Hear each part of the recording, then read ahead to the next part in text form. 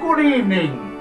I'm Dr. Calamari of the Stratford Berry Shireton Calamaris, and we here at Atomic Age Cinema would like to extend to you an invitation to watch us on 100 Years of Monster Movies, July 9th, 2010, at 8 p.m.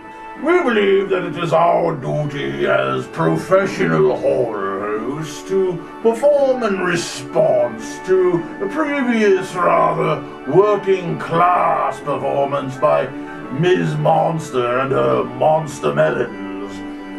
We believe that it is imperative that someone bring an air of refinement to the proceedings. Yes, quite, quite, quite. Indeed. Yes, yes. Quite. Well, you will hear no such lewdness as witnessed previously, with talk of cock and tit. No, no, no, no. Oh, certainly not. You'll see human hair with the most exquisite twist and the strongest That's right. On July 9th, Crude Humor will be taking a lift down to the lorry and go on holiday. Too right you are. In fact, you will only hear witty repartee, such as this. Woody.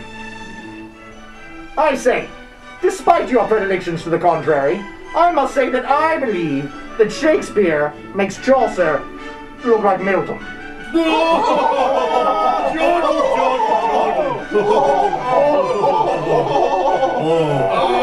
Oh, Wonderful.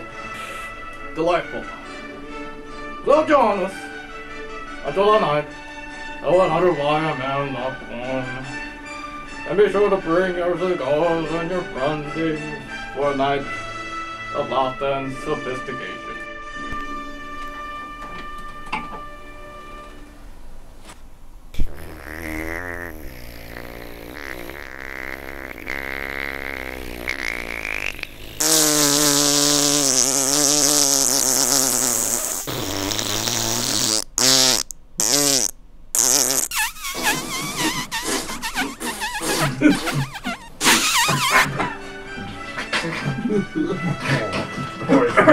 Good show.